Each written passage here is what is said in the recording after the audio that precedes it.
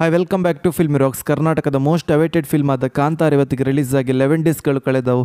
ಅದೇ ರೀತಿ ಈ ಫಿಲ್ಮ್ ಲೀಡ್ರಲ್ಲಿ ಕರ್ನಾಟಕದ ಮೋಸ್ಟ್ ಟ್ಯಾಲೆಂಟೆಡ್ ಪರ್ಸನ್ ಆದ ರಿಷಬ್ ಶೆಟ್ಟಿ ಅವರಿದ್ದು, ಬಿಡುಗಡೆ ಆದ ಹನ್ನೊಂದನೇ ದಿವಸದ ಬಾಕ್ಸ್ ಆಫೀಸ್ ಕಲೆಕ್ಷನ್ ಬಗ್ಗೆ ಮಾತಾಡಿದ್ರೆ morning to show plus advance ಬುಕ್ಕಿನ ಪ್ರಕಾರ ಕರ್ನಾಟಕದಲ್ಲಿ ಈ film one point zero seven C R ಅನ್ನು ಕಲೆಕ್ಷನ್ ಮಾಡಿತ್ತು.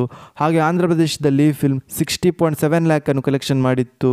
ಹಾಗೆ ತಮಿಳುನಾಡಲ್ಲಿ ಈ film two point four C R ಅನ್ನು ಕಲೆಕ್ಷನ್ ಮಾಡಿತ್ತು. ಹಾಗೆ ಕೇರಳದ ಬಾಕ್ಸ್ ಆಫೀಸ್ ಕಲೆಕ್ಷನ್ ಬಗ್ಗೆ ಮಾತಾಡಿದ್ರೆ ಫಿಫ್ಟಿ ತ್ರೀ ಲ್ಯಾಕನ್ನು ಕಲೆಕ್ಷನ್ ಮಾಡಿತ್ತು. ಹಾಗೆ ಹಿಂದಿಯ ಬಾಕ್ಸ್ ಆಫೀಸ್ ಕಲೆಕ್ಷನ್ ಬಗ್ಗೆ ಮಾತಾಡಿದ್ರೆ ಒನ್ ಪಾಯಿಂಟ್ ಏಯ್ಟ್ ಸಿ ಆರನ್ನು ಕಲೆಕ್ಷನ್ ಮಾಡಿತ್ತು. ಹಾಗೆ ಈ ಫಿಲ್ಮ್ ಓವರ್ಸೀಸ್ನ ಬಾಕ್ಸ್ ಆಫೀಸ್ ಕಲೆಕ್ಷನ್ ಬಗ್ಗೆ ಮಾತಾಡಿದ್ರೆ ನೈಂಟಿ ಪಾಯಿಂಟ್ ಸೆವೆನ್ ಲ್ಯಾಕನ್ನು ಕಲೆಕ್ಷನ್ ಮಾಡಿತ್ತು. ಹಾಗೆ Kantara film worldwide box office collection ಬಗ್ಗೆ ಮಾತಾಡಿದ್ರೆ morning to show plus advance ಬುಕ್ಕಿನ ಪ್ರಕಾರ ಬಿಡುಗಡೆಯಾದ ಹನ್ನೊಂದನೇ ದಿವಸಕ್ಕೆ ಈ film five point eight C ಆರನ್ನು collection ಮಾಡಿತ್ತು. ಅದೇ ರೀತಿ ಈ ಫಿಲ್ಮ್ ಗ್ರಾಸ್ ಕಲೆಕ್ಷನ್ ಬಗ್ಗೆ ಮಾತಾಡಿದ್ರೆ seventy five point three C ಆರನ್ನು collection ಮಾಡಿತ್ತು. ಹಾಗೆ ಈ film worldwide net collection ಬಗ್ಗೆ ಮಾತಾಡಿದ್ರೆ fifty six point four C R ಅನ್ನು ಕಲೆಕ್ಷನ್ ಮಾಡುತ್ತಾ ಅತ್ಯುತ್ತಮ ದಾಖಲೆ ಕಲೆಕ್ಷನ್ ಅನ್ನು ಮಾಡ್ತಿದೆ ಅಂತ ಹೇಳ್ಬೋದು ಕಾಂತಾರ ಫಿಲ್ಮ್ ನಿಮ್ಮ ಪ್ರಕಾರ ಕಾಂತಾರ ಫಿಲ್ಮ್ ಲೈಫ್ ಟೈಮ್ ಎಷ್ಟು ಕಲೆಕ್ಷನ್ ಮಾಡ್ಬೋದು ಅಂತ ನಮ್ಮ ಕಮೆಂಟ್ ಬಾಕ್ಸಲ್ಲಿ ತಿಳಿಸಿ.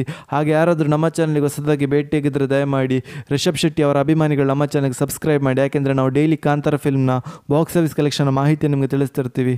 Thank you